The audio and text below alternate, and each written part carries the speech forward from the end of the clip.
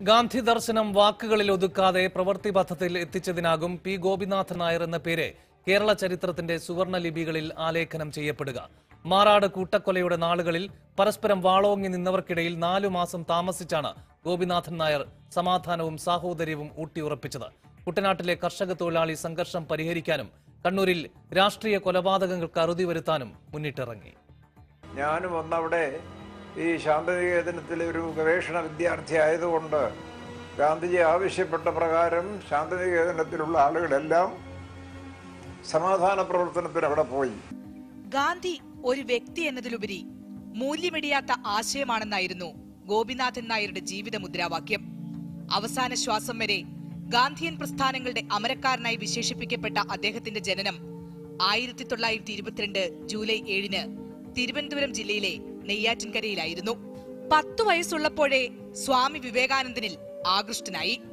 ആയിരത്തി തൊള്ളായിരത്തി മുപ്പത്തിനാലിൽ പതിനൊന്നാം വയസ്സിൽ ഹരിജനോദ്ധാരണ ഫണ്ട് സമാഹരണത്തിന് കേരളത്തിലെത്തിയ ഗാന്ധിജിയെ ആദ്യമായി കണ്ട കാഴ്ച ഗോപിനാഥൻ നായർ ആവേശത്തോടെ വിവരിക്കുമായിരുന്നു. നമ്മളെല്ലാം പുതിയ സാമൂഹ്യ ജീവിയായി മാറാനും സാമൂഹ്യാധിഷ്ഠിതമായ ഒരു പുതിയ സമൂഹം ഉണ്ടാക്കാനും ശ്രമിക്കണമെന്നുള്ളതാണ് ഗാന്ധിയിൽ നിന്ന് പഠിച്ചതിന്റെ അടിസ്ഥാനത്തിൽ എനിക്ക് പറയാനുള്ളത്.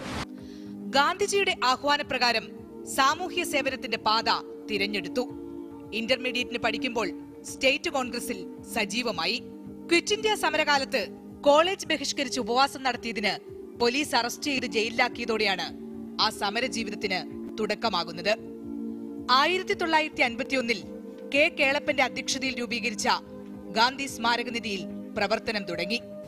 Travancore Dewan sir C P Ramaswamy അയ്യരുടെ കാലത്ത് ലഭിക്കുമായിരുന്ന സർക്കാർ സർവീസും ചൈനയിലെ കൾച്ചറൽ അറ്റാഷിയായി ലഭിക്കുമായിരുന്ന നിയമനവും വേണ്ടെന്ന് വെച്ചാണ് ഗോപിനാഥൻ നായർ മഹാത്മജി സ്ഥാപിച്ച സേവാഗ്രാം ആശ്രമത്തിലേക്ക് യാത്ര തിരിച്ചത്.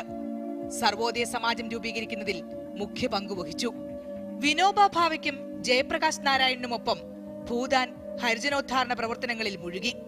ഇന്ദിരാഗാന്ധിയുടെ വധത്തെ തുടർന്ന് നടന്ന സംഘർഷം ശമിപ്പിക്കുന്നതിനുള്ള ഗാന്ധിയൻ സംഘത്തിന്റെ സെക്രട്ടറിയായിരുന്നു. പഞ്ചാബ് കരാർ അടിത്തറയായത് സംഘം നൽകിയ റിപ്പോർട്ടാണ്. കുട്ടനാട്ടിലെ കർഷക തൊഴിലാളി സംഘർഷത്തിന് അറുതി വരുത്താൻ ഗാന്ധി പീസ് ഫൗണ്ടേഷന്റെ നേതൃത്വത്തിൽ നടന്ന ശ്രമങ്ങൾക്കും ചുക്കാൻ പിടിച്ചു.